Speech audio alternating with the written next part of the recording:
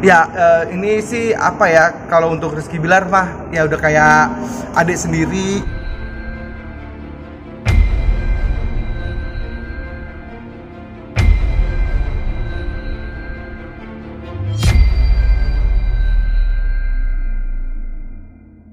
Ini tadi ulang tahun Rizky Bilar seperti apa mungkin Kak Indra? Ya, eh, ini sih apa ya? Kalau untuk Rizky Bilar mah ya udah kayak adik sendiri gitu. Terus juga acaranya tadi eh, apa? Sederhana tapi mewah tapi eh, penuh dengan kehangatan gitu ya. Jadi em, apa ada eh, kalau boleh dibilang sahabat-sahabatnya sih yang kebanyakan datang gitu. Berarti apa private ya khusus orang-orang keluarga doang ya? Ya, ya. Jadi ini sepertinya memang teman-teman dekatnya yang eh, nggak semua orang tuh bisa datang gitu.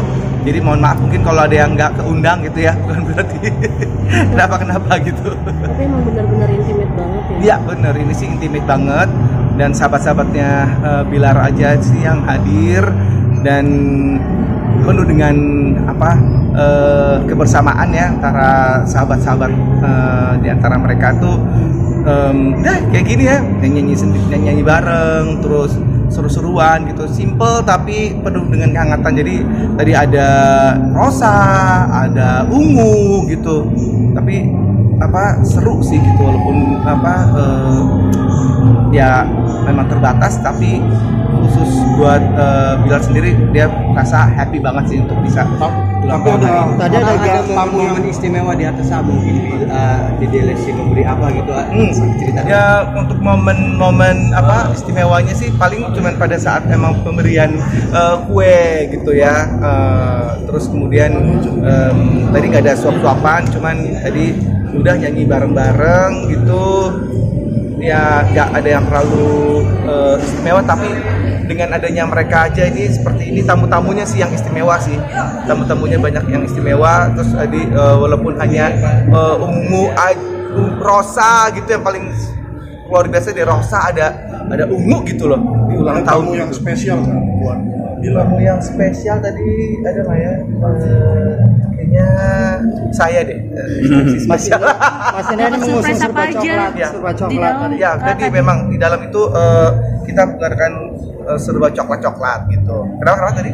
Dapat surprise apa aja di dalam Bang? Surprise tadi sih nggak em, eh, Bilar ya Bilar sih yang dapetin surprise tuh eh, dia adanya rosa adanya ungu tadi gitu dia cukup jadi kita tutup matanya terus gitu kan ya ternyata dia merasa eh, ini ulang tahunnya yang kali ini ya cukup inilah ya membuat dia jadi eh, makin apa sumringah gitu kali ya semangat gitu ya Untuk Atta Bilar dan dia di mata ya seorang untuk Atta Oh. dan Raffi ada. Iya tadi iya iya betul betul. Jadi ada tamu yang istimewa juga ya. Ada Atar, ada Raffi, eh, terus ya semuanya banyak yang sahabat-sahabatnya Bilar istimewa semuanya. sosok Bilar di mata Indra seperti apa? Ya kalau menurut aku ya Bilar merupakan eh, sosok eh, pejuang dalam hidupnya ini berjuang eh, mendapatkan apa yang dia inginkan tuh itu luar biasa gitu ya.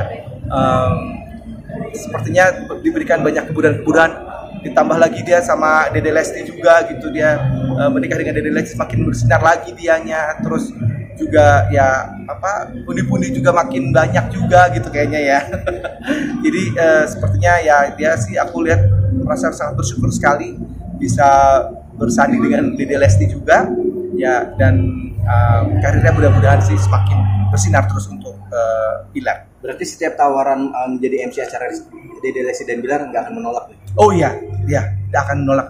Dede Lesti dan eh, Bilar itu udah, udah kayak eh, keluarga sendiri ya. Mereka tuh selalu inget nih sama kakaknya gitu ya. Ntar kalau ada apa ada apa dia selalu undang, selalu ngajakin untuk bisa eh, ajakin kerjasama gitu. Oke? Oke, Terima kasih banyak. Doanya dong dulu. Doanya dulu dong. Doanya Hmm. untuk siapa? ya? Untuk Bila. Untuk Bilar, semoga kamu akan menjadi artis yang begitu luar biasa ya. Jadi eh, apa? Jadi ayah yang luar biasa juga untuk anaknya dan tentunya menjadi suami yang luar biasa untuk istrinya. Oke, sukses buat kamu.